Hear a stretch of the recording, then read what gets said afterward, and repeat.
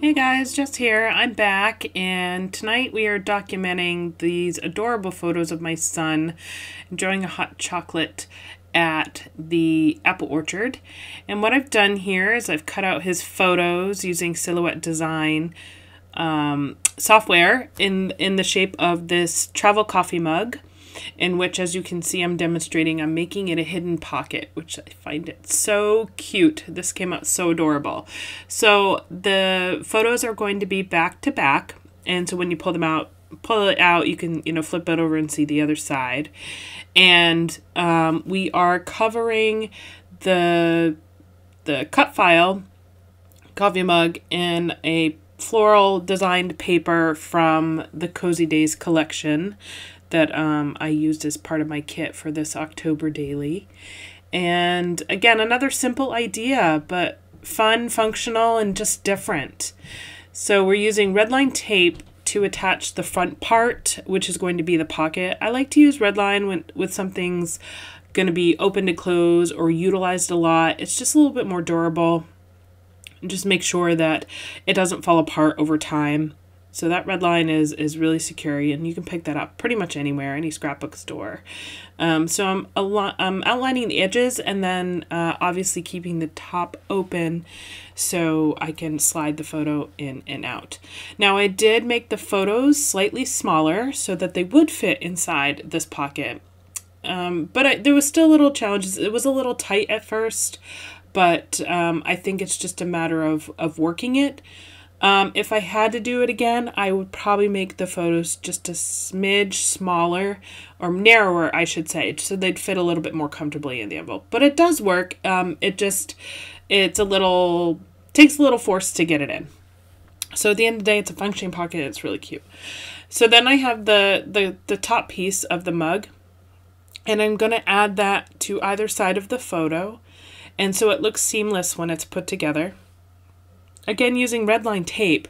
So that way, because you're going to be grabbing this, so you want it to stick. And so this top piece had, had two parts to it.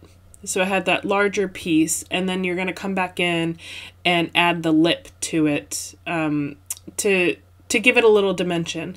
And off camera, after I finished this, I actually ended up going back and using one of my um, markers and just outlining uh, the edges of the lid in like a, a gray just to just to define it just a little bit more and I think that looked really nice. But this is still so very cute, very easy to do, and such a fun idea, right? Um, it's, it's something different than your standard pocket page or your 6 by 8 page. And so then I'm going to add the pattern paper to the back side. Um, actually, sorry, this is the the koozie, if you will, or cup holder. Um, there's one for either side to that. So I added it to the front and this cute little button that says, okay, but first coffee. He's drinking hot chocolate, but still it's really cute and very fitting. and the colors match. It's got the pink and the flowers.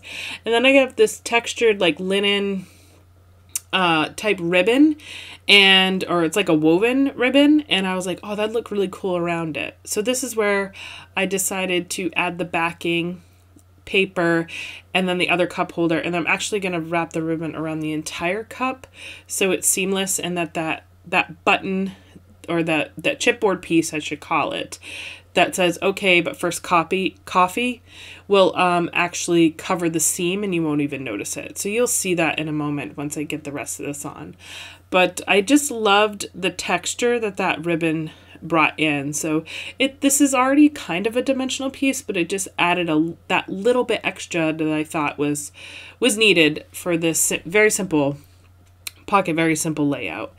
And the cream color um, just complements that brown and the rest of the colors in the pattern paper just so nicely. So I love it when things like that work out.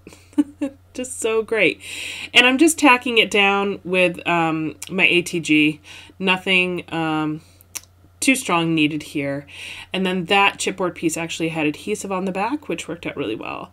And then I just brought in some leaves and tucked a couple in around the um, chipboard piece just just to add a little bit more pizzazz.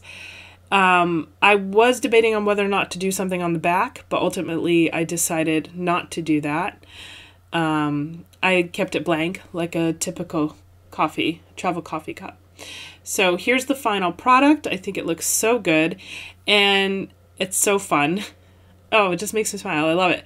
And then to put this in the album, I'm actually going to get one of those um, Felicity Jane um, three hole punch acetate pieces that um, you can attach to your pages or your uh, yeah dimensional pieces such as this and put it in your album. So this is the end result. I hope you guys enjoyed this process video. Thank you so much for watching and make sure you hit subscribe and I will see you all in the next one. Have a great night. Bye.